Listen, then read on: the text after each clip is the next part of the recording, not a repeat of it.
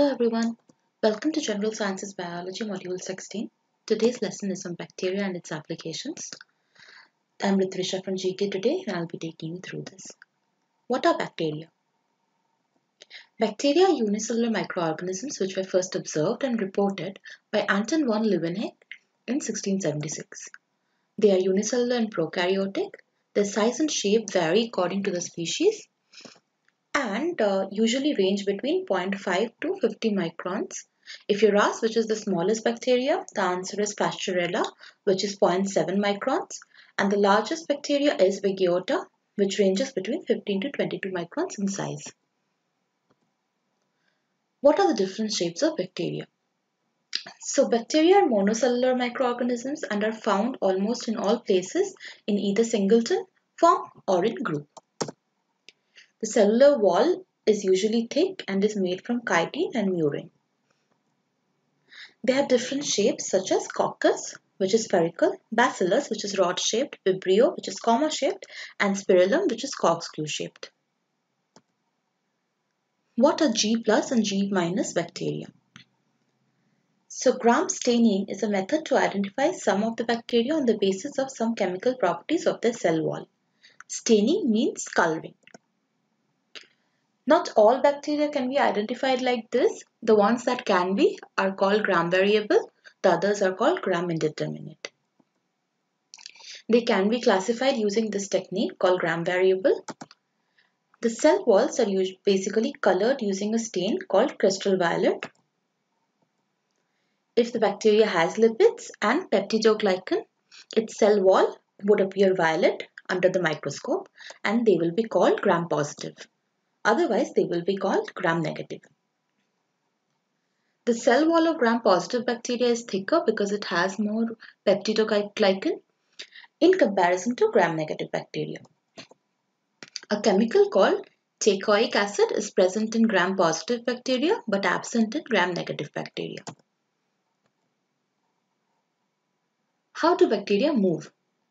Now, there are tail-like projections that protrude from the cell body of certain prokaryotic and eukaryotic cells. This thing is called flagella. Bacteria usually have them and use them for locomotion. But if they don't have any flagella, they are known as atrichous and in that case, they usually move by means of gliding like Beggiatoa or they don't move at all like cocci. Metabolism in bacteria. So bacteria can be autotrophic, heterotrophic as well as saprophytic. So autotrophic bacteria are the ones that produce their own food. They can be photoautotrophic or they do it by photosynthesis or chemoautotrophic that is they convert chemicals to energy. Some bacteria grow on the dead and decaying material and are known as saprophytes. Some bacteria grow on plants and animals are known as parasitic bacteria. The bacteria which make mutually beneficial associations are called symbionts. Chemotrophic bacteria use chemicals to produce energy. Example would be hydrogen bacteria which use hydrogen and sulfur bacteria which uh, oxidize sulfur and uh, reduce them to hydrogen sulfide or inorganic sulfur. How do bacteria reproduce? So reproduction can be either asexual or sexual in bacteria. In asexual reproduction, binary fission happens, which is very similar to mitosis. And in sexual reproduction, it uh, is usually via conjugation, transduction or transformation. We come to pasteurization. So what is pasteurization? So it is one of the methods of preserving products such as milk, alcoholic beverages, etc. It is defined as the process of heating products to a particular temperature and holding it at that temperature for a particular time till the pathogenic or disease-causing microorganisms are destroyed, causing minimum change in composition, flavor and nutritive value of the product. So what are the ways to pasteurize milk? There are usually two methods which are used. One is LTH or low temperature holding. Another is HTST or high temperature short time. Now LTH is the method where milk is heated to 62.8 degrees Celsius for 30 minutes in either commercial pasteurizers or large closed vats uh, where, uh, which are heated by steam coils, hot water jackets, etc. In case of HTST or high temperature short time, the milk is heated up to 71.7 degrees Celsius for 15 seconds only. So how does pasteurization work? So the heating during pasteurization is accomplished by electricity or hot water and requires a heat exchange system uh, which preheats the raw cold product and cools it later. So pasteurization conditions are not sufficient to destroy thermoresistant spores, that is, uh, the ones that don't die because of high temperature. Pasteurization does not sterilize the product, but it only kills those organisms that grow most readily at low temperatures. And surviving organisms must be kept from multiplying by constant refrigeration. What is the role of bacteria in nitrogen fixation?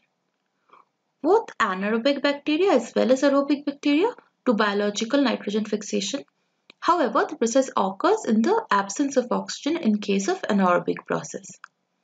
Now, biological nitrogen fixation is done by both free-living and symbiotic bacteria. Examples would be for free-living aerobic bacteria, it's Azotobacter. For free-living anaerobic bacteria, it's Clostridium and purple sulfur bacteria. For symbiotic bacteria that are present in root nodules of legumes and pulses, it is Rhizobium symbiotic bacteria which is present in the stem node of sugarcane is Gluconacetobacter diazotrophicus. Symbiotic bacteria in other plants are Frankia and Azospirillum. Why does biological nitrogen fixation only occur in anaerobic conditions? So the thing is the enzyme nitrogenase is susceptible to destruction by oxygen. So uh, it reacts in the presence of oxygen and uh, ceases production. So many nitrogen fixing organisms exist only in anaerobic conditions so that they can perform these functions properly. Some aerobic bacteria which carry out the nitrogen fixation use another protein called leghemoglobin to bind the oxygen and bring its level down.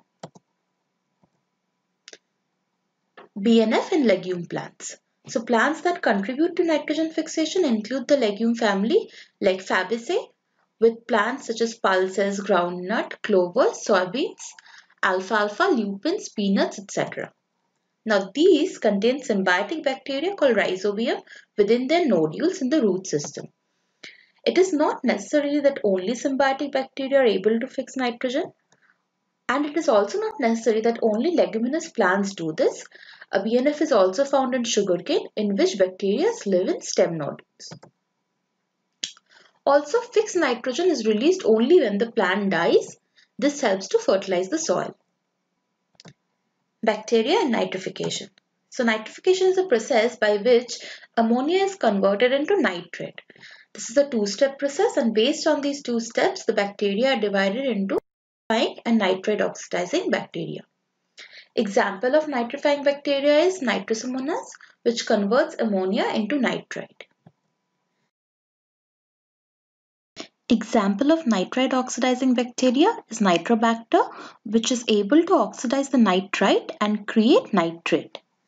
If you like this tutorial, please do subscribe to our channel GK Today on YouTube.